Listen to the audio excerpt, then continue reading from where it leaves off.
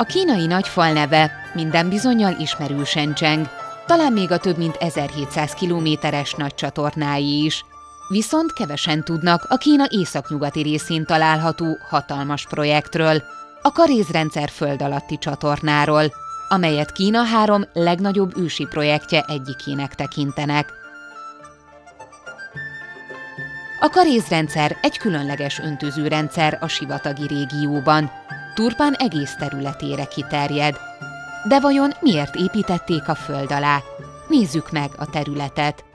Turpán az eurázsiai kontinens közepén fekszik, Kína legszárazabb részeinek egyike, azért, hogy az értékes víz párolgását megakadályozzák, föld alatti csatornákon vezették a vizet a falvakba, ami kiváló ötletnek bizonyult. És vajon honnan származik a víz? A medence északi oldalán található a több mint 5000 méteres Bogda-hegy, amelyet egész évben vastag hó borít. Nyáron, amikor emelkedik a hőmérséklet, a megolvadt húli lefolyik a völgybe, majd a sivatag alá rejtőzik.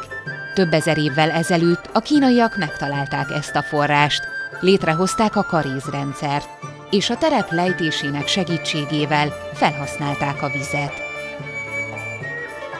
A karézrendszer főleg kutakból, föld alatti és feletti csatornákból, tározókból áll. Először kutakat ástak a hegyen, a megolvadt hóli ezeken keresztül jut be a rendszerbe, majd a lejtős terepen, a víz a föld alatti csatornákban, a falvak és a mezők közelébe folyik. Semmilyen külső beavatkozásra nincs szükség.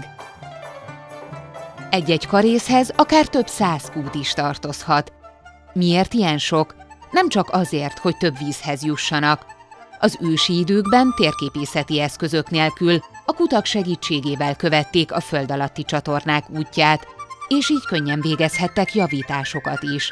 A környéken élt falusiak is vehettek vizet. Ugyanakkor a föld alatti csatornák hosszúsága is változó. A leghosszabb akár több mint 10 kilométeres is lehet. Ha a magasból nézünk le a karézrendszerre, olyan a látvány, mint egy gyöngyökből fűzött nyaklánc, amely összekapcsolja a havas hegyet a falvakkal és a mezőkkel. A helyieknek gazdagságot és reményt hoz, a úton utazóknak pedig értékes pihenőhelyet kínál.